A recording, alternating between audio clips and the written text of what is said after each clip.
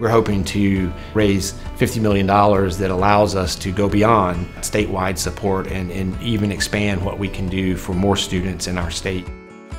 So we have been a leader in that regard over these, these many years and, and now our state is sort of doubling down on that investment uh, and, and allowing us to open a second campus in western North Carolina that will serve even more talented students from across our state. And, and, so we're really excited for the campaign and the success thus far. Really appreciate the tremendous support that we have from our alumni, our families, and our friends that are allowing us to uh, expand opportunities and, and really help meet the need of North Carolinians today and in, well into the future.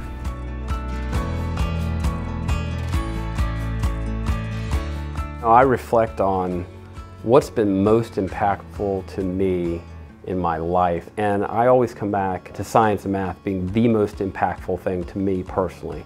It's why I invest my time and, um, and, and energy back into supporting the school. I'll never be able to repay what I got from the school. What I do know is that when you have an asset that's so strong, you want to double down, you want to invest more in it.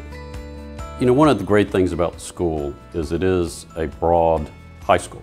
You develop your skills, your personality, your interpersonal skills, uh, and, and your intellectual abilities. And when you add all that up, that can help you uh, or lead you down a path to your future career, uh, whatever that might be. Students from all over North Carolina come to NCSSM seeking new challenges.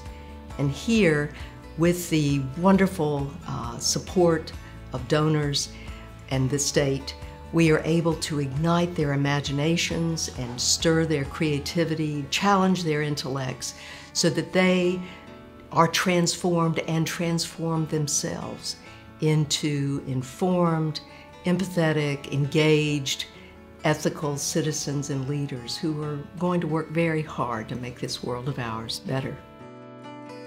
It is a transformational experience and a transformational opportunity. It's an opportunity to come and learn, to be exposed to subject work, but also again to people. It prepared me, I think, to be a better global citizen uh, just by experiencing in a small way what it was like to live and work with, with people who I'd never met before, but who were working together for the same mission, to get an education, to invest in our own futures, and to help support, in many ways, our families and communities. Well, we've, with the support of Carl and Ashley Rydeen, have been able to found the Rydeen Program for uh, Innovation and Leadership in Artificial Intelligence. And so this is a program where we're working on helping to bring to students and teachers, you know, more information about the importance that AI is playing. And we want to also build in on the front end of this the potential ethical implications that we should all be considering as uh, AI continues to grow.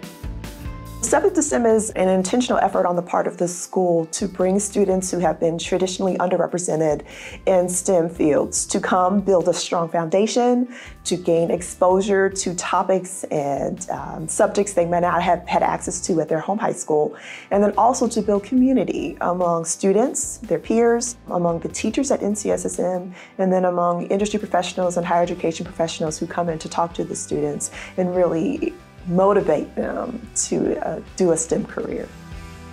The instructors here really helped me gain a larger perspective of the world and make sure that I knew that there's never just one way to do things. There's infinite. I think it's incredibly important for all alumni of NCSSM to keep in touch with this incredible community that has helped me grow personally into who I aspire to be and it nurtured my dreams and passions into something that could tangibly be studied and communicated in a way that could help me become somebody who could serve the community around me.